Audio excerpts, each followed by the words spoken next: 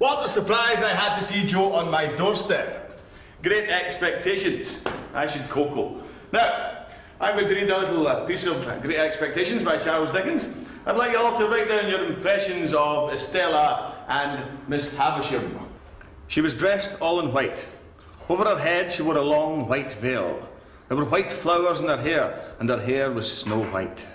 Jewels sparkled on her neck and on her fingers.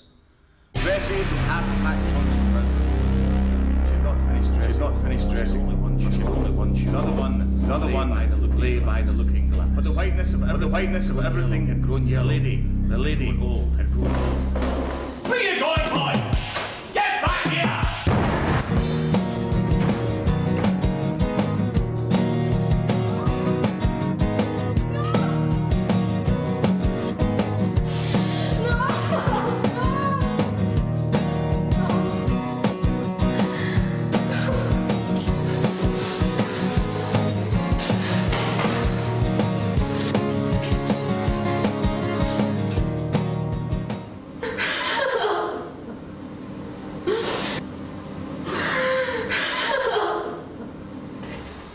She can't be.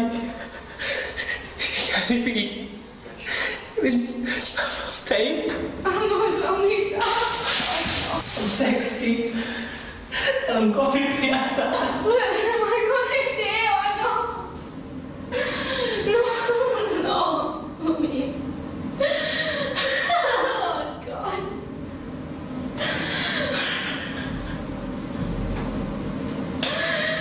Oh,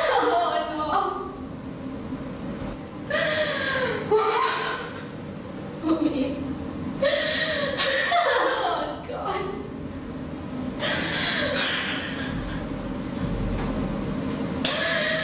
Oh, no. Mum, I did never guess what happened in school today. What? Remember that party I went about a month ago? Aye.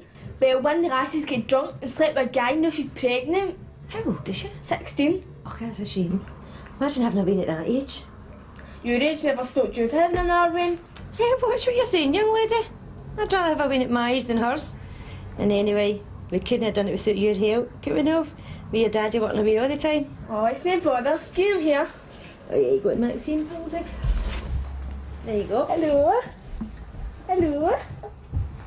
You take it.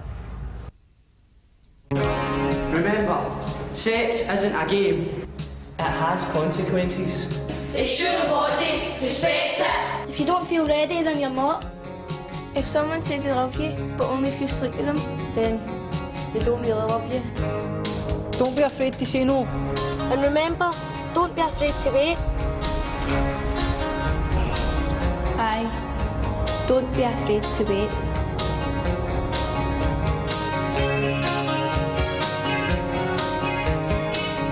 Blind men may lead us on.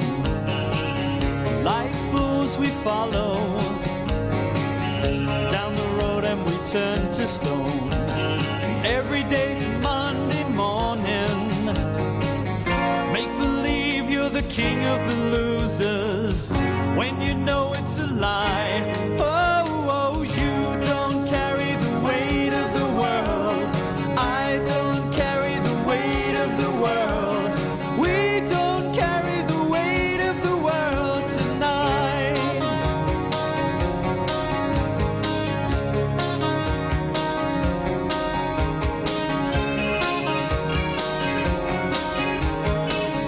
Yesterday was that kind of day. Died, but you're still living. And time's rivers, they wash away all the pain of the killing. So tell me, how many lives for a real revolution? How many killed to survive?